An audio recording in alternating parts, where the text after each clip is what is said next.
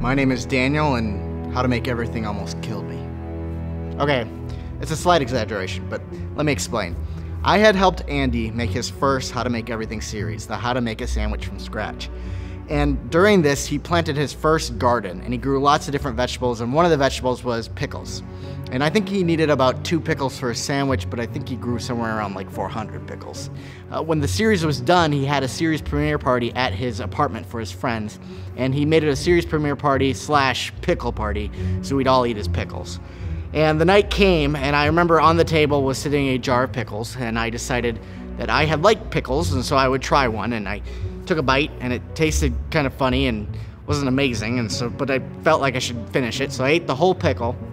And uh, you know the night progressed and we all sat around the TV watching the the premiere and I remember I started to feel funny. And within five minutes I felt like I was gonna barf.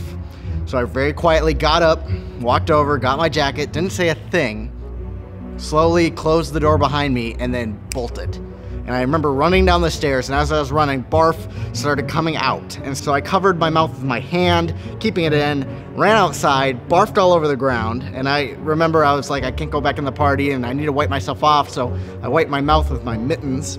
Uh, and just left the mittens there. And I went home feeling terrible, and I threw up all night. It was the worst. And so since then, I have been very leery trying anything Andy has produced. But recently I was with Andy and he had made a new batch of pickles and he said that these pickles wouldn't kill me and he wanted me to try it and, and video it for you guys and, and tell you how they taste. So I'm gonna try them and we're gonna see if they've gotten any better.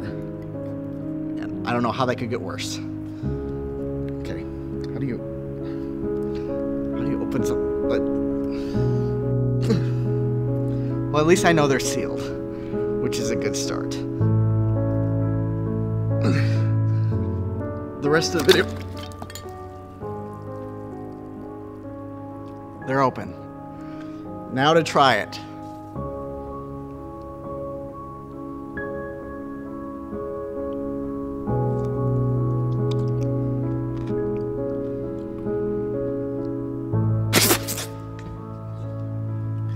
Just kidding. yeah. Um it tastes like a pickle, which is an improvement over last time. It's kind of a weird taste. I like dill pickles, but uh, it's pretty dilly. It's a word. They're all right. They're very vinegary, which I like. They have a good snap to them. They taste fresh. I don't feel like I'm gonna die eating this. It's not bad. Andy, you did a lot better this time. Cheers. That was a big mistake. Andy didn't ask me to do this, but I wanted to do this real quick. I support Andy and how to make everything on Patreon, and I think you should too.